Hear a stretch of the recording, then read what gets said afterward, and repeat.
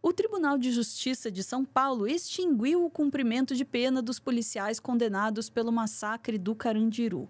O massacre deixou 111 detentos mortos durante uma rebelião no pavilhão 9 da extinta Casa de Detenção de São Paulo.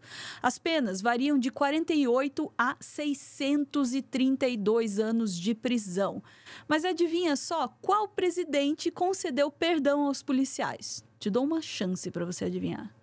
Vamos ouvir mais com a nossa Daiane Oliveira aqui no Plantão do Meteoro. Bora lá.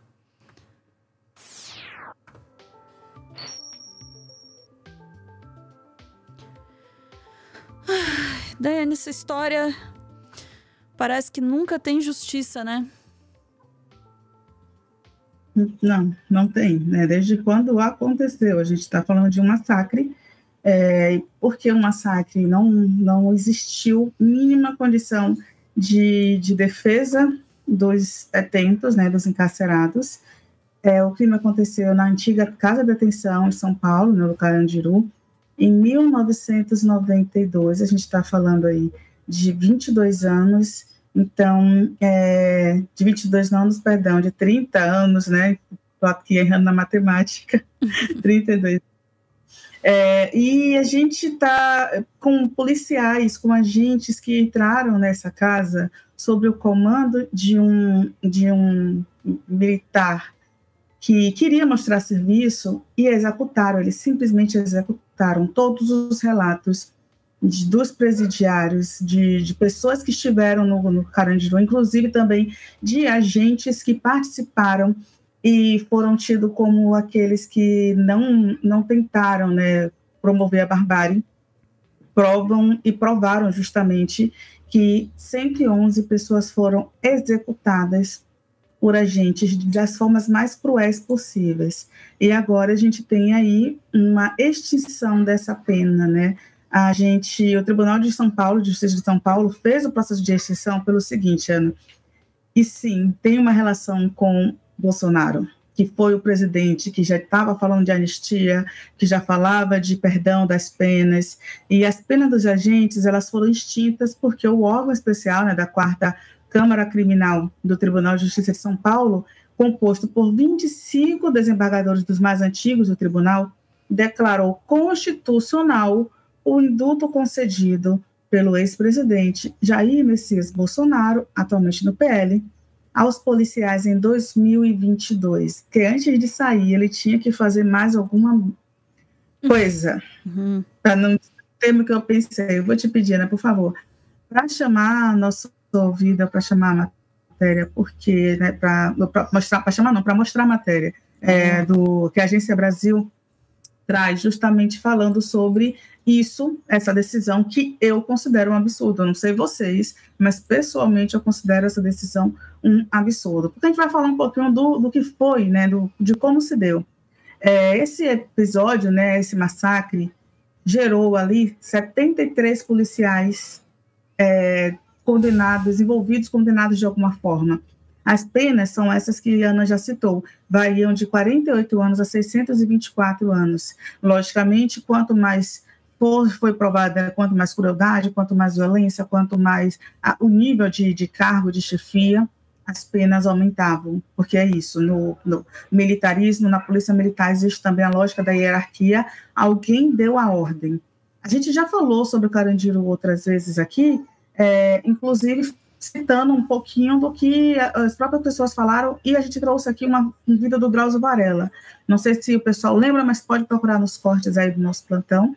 É, e o Drauzio Varela, ele foi médico do, do Carandiru, e ele, por exemplo, fala que no dia em que aconteceu a rebelião, ele sabia, né, ele tinha conversado com o diretor, e o diretor tinha dito assim, não, vai ter um futebol aí, tá tudo tranquilo, etc e tal, e aconteceu, nesse processo aí de ter um futebol, aconteceu uma briga generalizada.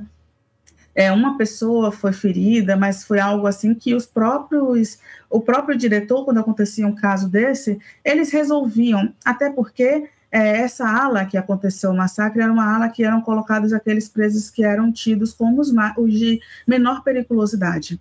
Então, como era resolvido isso? É, os, os, agentes, o, o, líder ali carcerário, eles colocavam os presidiários presos numa cela, na, separados, reclusos, fazia uma lógica ali de sem comida por 24 horas, totalmente desumano, como sabíamos né, que era o processo, mas é, ele, ele resolvia internamente, ou seja, não precisava dessa intervenção violenta como foi por parte do Estado. E o Drauzio Varela ele fala muito sobre isso, como aconteceu esse massacre. Vou te pedir, por favor, para trazer esse vídeo, que não é sobre o Drauzio, mas é sobre essa, sobre o discurso do Bolsonaro sobre a atuação da polícia. Me desculpa, pessoal, que a gente vai ter que ouvir um pouquinho de Bolsonaro, mas é só um minuto. Vamos lá. Hoje é aniversário da nossa Polícia Militar. Opa, peraí. É para começar em 1h20, né? Ou não? Não, tá certo, tá certo. Foi mal, foi mal, foi mal. Pulei. Onde não? Hoje não, ele finaliza a nossa isso. Polícia Militar. 189 anos. Parabéns à Polícia Militar do Estado de São Paulo. Uma das melhores e mais atuantes que existe no Brasil. Exemplo para todos nós de abnegação, de sacrifício, de oferecer a sua vida pela vida de terceiro. E se Deus quiser, com a nova, nova Câmara, a nova presidência das, da Câmara e do Senado, nós vamos botar em pauta o excludente de licitude. Porque o policial tem que, ao cumprir sua missão, ir para casa descansar. E não aguardar a visita do oficial de justiça. E deixo bem claro aos hipócritas, já que, já que com toda certeza todo lugar tem, né? Não é permissão para matar, não. É o direito. Eu vou dar os meios para ele não morrer. Porque é dar a vida se preciso for entre a vida de um policial e mil vagabundos, ou 111 vagabundos, que é número bastante emblemático, eu fico aquele policial militar contra 111 vagabundos. Caraca!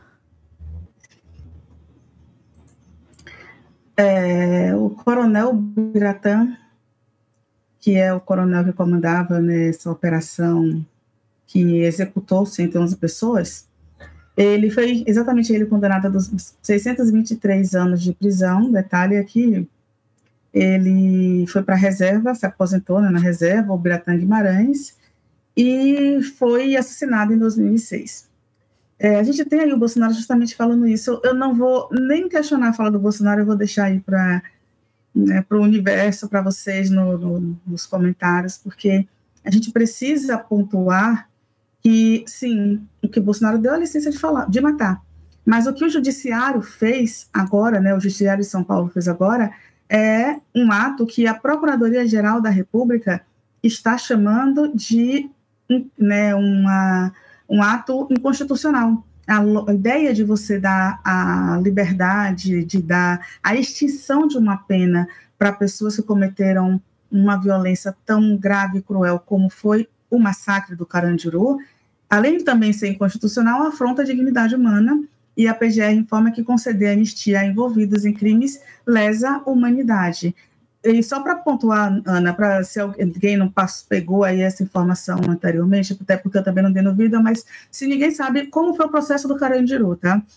A gente passou aí 15 anos de, de julgamento, houve condenação. É, no final dessa condenação, que já veio agora né, para o ano 2000, a gente teve é, em 2022 o indulto né, do Bolsonaro. Em 2023, o efeito do indulto foi votado, foi analisado pelo Supremo Tribunal Federal, pela ministra Rosa Weber. E a Rosa Weber ela tinha dito que o mérito do caso era podia ser julgado em junho daquele, daquele ano, mas não foi julgado.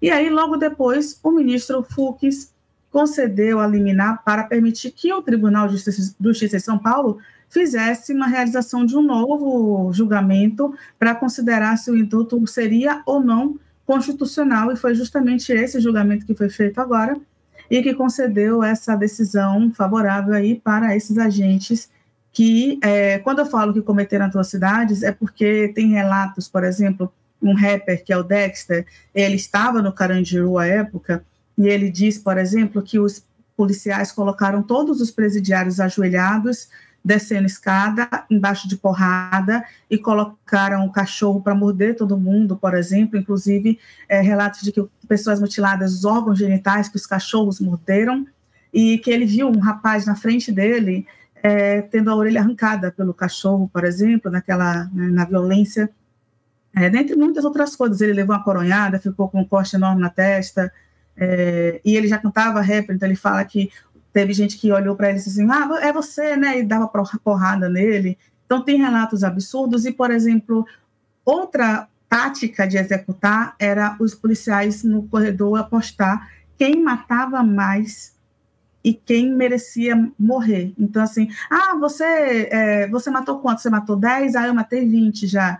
Quem merece morrer? Ah, vamos pegar esse aqui e vamos empurrar. Inclusive, eles empurravam presidiários no fosso do elevador, tinha um elevador no Carandiru, esses presidiários eram empurrados no fosso do elevador a muitos metros de altura, não lembro exatamente agora quantos metros de altura. Então, todo tipo de barbárie é, entraram atirando em presidiários que não tinham armas. É, é isso, é, é, extremamente violento, é extremamente insano e a gente tem aí uma dica para quem gosta de entender o processo do sistema presidiário brasileiro, carcerário brasileiro. A gente tem é, um documentário que foi criado sobre, é, que foi produzido sobre a criação do PCC, a organização PCC.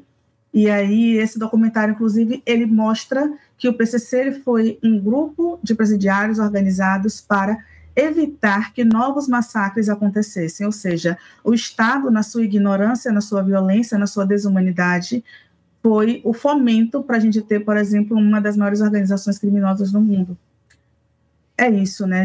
É realmente absurdo, assustador, extremamente violento, e agora a gente tem esses, esses policiais totalmente limpos, né, de ficha limpa. Para quem quer saber se cabe recurso, é, a gente certamente vai ter aí uma reação da Procuradoria-Geral da União, que já, da República, perdão, que já se manifestou que né, essa decisão lesa a humanidade, e é possível que haja uma solicitação nova para a revista do STF. É isso, Ana. É, só lembrando que isso daí tá, tá completamente além de qualquer coisa que o Bolsonaro quis indicar naquele discurso, né? Não, para proteger a sua vida, não sei. Não, não foi, não foi isso que aconteceu ali. Para quem não estava, né, não tava aí, não conhece a história do Carandiru, é, dá, dá uma boa olhada nessa história para saber exatamente é, o que foi aquilo. E não, não foi a contenção de uma rebelião, não, não foi para proteger a vida dos policiais, foi um massacre. Né? É, e aí, sancionado, né? É incrível que o Bolsonaro consegue participar até mesmo a posteriori, né? É, sancionado aí pela, pelo Bolsonaro.